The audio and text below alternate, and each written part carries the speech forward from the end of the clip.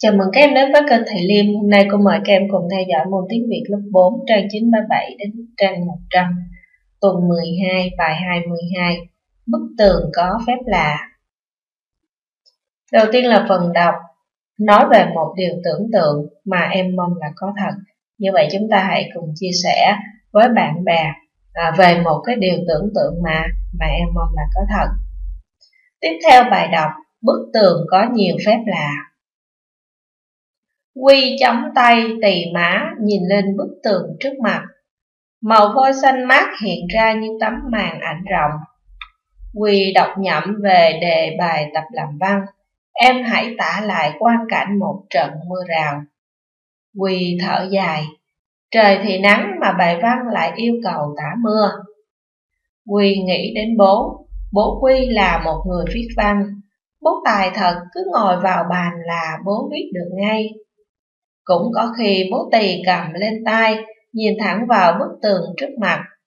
Nhìn một lúc, lúc nữa, rồi bố cầm viết, viết lia lịa, quên cả ăn cơm. Bức tường này có phép lạ gì đây?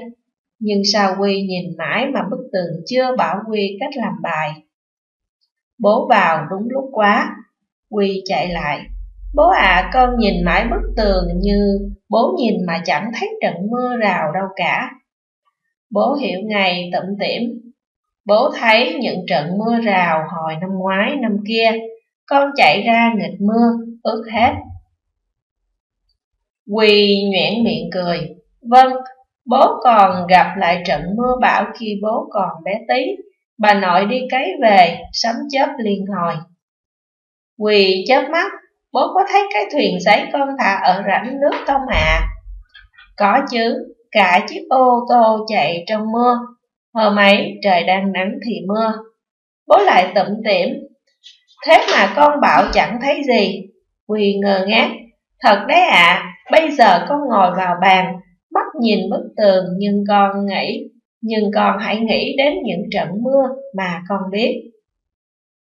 Quy ngồi vào bàn, nhìn lên bức tường và thấy chiếc thuyền giấy trôi bồng bềnh giữa sân những vài áo ướt sũng nước mưa của người đi cày, những hạt mưa đang nhào rơi xuống rào rào.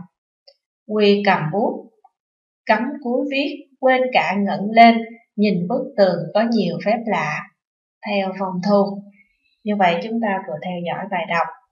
Tiếp theo thì chúng ta sẽ trả lời câu hỏi một Tìm chi tiết tả không gian Quy đang ngồi học. Thì à, những cái chi tiết tạ không gian Quy đang ngoài học đó là Quy chống tay tì má nhìn lên bức tường trước mặt, màu vôi xanh mát hiện ra như tấm bàn mảnh rộng.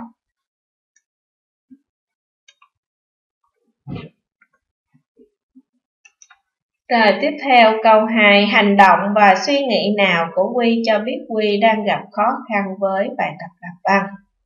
Thì cái hành động và suy nghĩ của Quy cho biết Quy đang gặp khó khăn với bài tập làm văn đó là Quy thở dài, trời thì nắng mà bài văn lại yêu cầu tả mưa. Tiếp theo cầu bà điều gì khiến Quy nghĩ bức tường vôi xanh có phép lạ? Như vậy, Quy nghĩ bức tường vôi xanh có phép lạ là vì vì mỗi lần bố tì cầm nhìn thẳng vào bức tường một lúc rồi viết lia lịa. Tiếp theo câu 4. Vì sao bố kể cho Quy nghe về những trận mưa? Tìm câu trả lời đúng. A. Vì những trận mưa gắn với kỷ niệm tuổi thơ của bố. B. Vì bố muốn Quy tả những trận mưa mà bố đã từng gặp. C. Vì bố muốn gợi cho Quy nhớ lại những trận mưa mà Quy đã gặp. Dê vì bố muốn Quy nhớ về bà nội của mình. Như vậy bố kể cho Quy nghe những cái trận, những cái trận mưa là vì vì bố muốn gợi cho Quy nhớ lại những cái trận mưa mà mà Quy đã gặp. Như vậy chúng ta sẽ chọn đáp án C. Tiếp theo câu 5, theo em vì sao Quy có thể làm được bài văn mà không cần nhìn bức tường có nhiều phép lạ nữa? Như vậy, Quyên có thể làm được bài văn mà không cần nhìn bức tường có phép lạ nữa bởi vì bởi vì bức tường thực chất chẳng có phép lạ nào Việc bố của Quy nhìn vào tường chỉ là để suy nghĩ nhớ lại những cái quan cảnh, câu chuyện cũ. Bố của Quy đã giúp cho Quy nhớ lại những trận mưa mà Quy đã từng trải qua. Nhờ đó mà Quy đã có thể viết được cái bài văn của mình mà chẳng cần tới bức tường có nhiều phép lạ.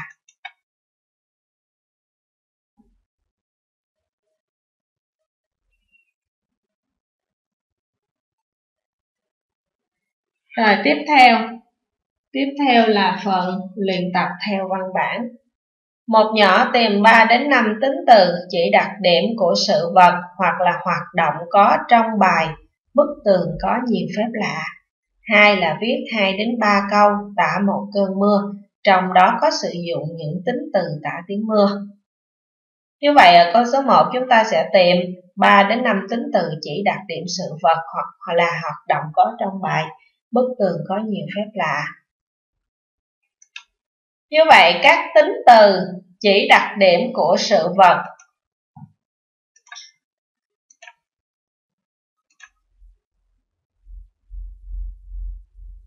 Như vậy, các tính từ chỉ đặc điểm của sự vật hoặc là hoạt động có trong bài bức tường có nhiều phép lạ đó là từ xanh mát, tài, lia lịa, bé tí, tịnh tiểm, ngơ ngác, bồng bềnh, ướt sũng, rào rào. Rồi, viết 2 đến 3 câu tả một cơn mưa, trong đó có sử dụng những tính từ tả tiếng mưa. Ví dụ như là tiếng mưa rơi rào rào, những giọt mưa tí tách rơi, tiếng mưa rơi lợp đợp trên những hiên nhà.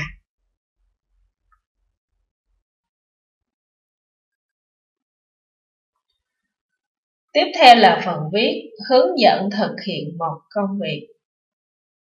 Như vậy phần viết hôm nay chúng ta sẽ viết hướng dẫn thực hiện một công việc.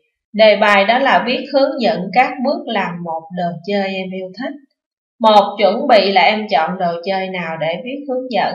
Đồ chơi làm bằng đất sét, bằng giấy hay là bằng bông. Cần chuẩn bị dụng cụ vật liệu gì để làm đồ chơi.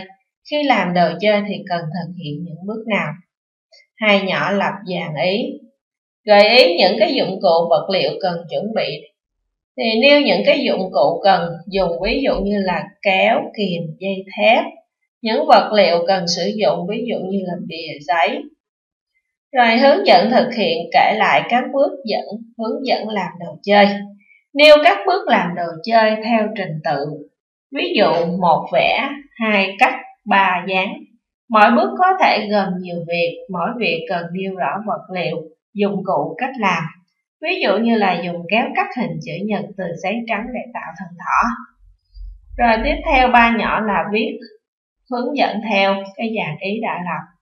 Và số 4 nhỏ là đọc, soát và chỉnh sửa, cách trình bày các bước, cách dùng từ đặt câu. Rồi cuối cùng là phần vận dụng, một là kể lại cho người thân nghe câu chuyện nhà phát minh và bà cụ, hai là tìm đọc một câu chuyện về nhà khoa học.